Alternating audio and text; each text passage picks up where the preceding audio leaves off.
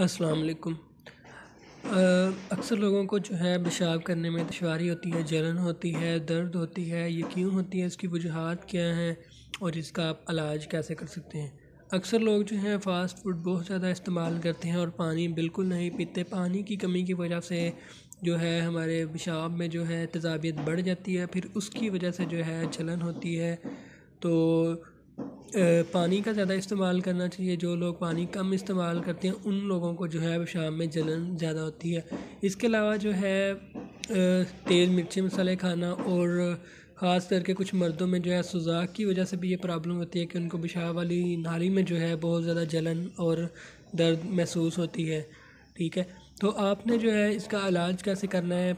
तली चीज़ों से जो है, परहेज़ रखना है, गर्म चीज़ों से परहेज़ रखना है, माल्टे वगैरह इस्तेमाल करें उसके अलावा जो है पानी कम अज़ कम तेरह, चौदह गिलास इस्तेमाल करें। आजकल सर्दी है इतना नहीं पिया जाता, लेकिन फिर भी आप चार, पाँच छः गिलास तो लाजमी इस्तेमाल करें। और उसके साथ ये मसूद कंपनी के एच आर नंबर ड्राप हैं एक आठ नंबर ड्राप हैं।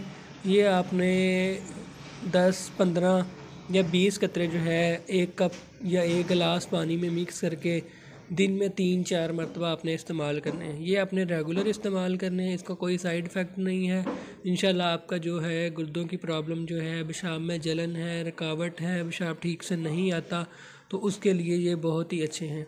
इसको इस्तेमाल करें, इससे फ़ायदा उठाएँ इन आपको बहुत फ़ायदा होगा। अगर आप मज़ीद कुछ पूछना चाहें कमेंट कर सकते हैं व्हाट्सअप कर सकते हैं, मिलते हैं नेक्स्ट वीडियो में। अल्लाह हाफिज़।